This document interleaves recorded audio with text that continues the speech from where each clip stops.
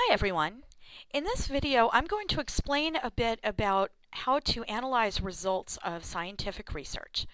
And there are a lot of different statistical techniques that researchers can use, but in this video we're going to focus on measures of central tendency, which is just a fancy way of saying we're going to look at averages. The tricky thing to keep in mind, though, is that the word average can really have two different meanings. One is the mathematical average, but average can also just mean typical. So there are three measures of central tendency, which are three different ways to describe what is typical of a set of data. The first one is what's called the mean, and this is the mathematical average. You take all of your scores, add them up, and divide by the number of scores. This is usually what people are talking about when they talk about an average. But you'll also often hear them talk about the median, which is where you line up all your scores from lowest to highest and just take the one in the middle, regardless of how much it resembles the ones around it. Finally, there's the mode, which is just the most frequent score.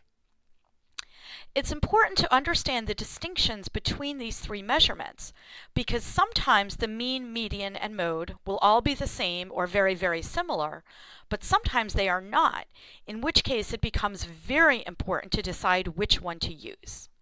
For example, I'm going to give you here some information about a company that I just completely made up. This company has seven employees, three people who earn very low salaries, three people who earn medium salaries, and then one very well paid CEO who earns $900,000 a year.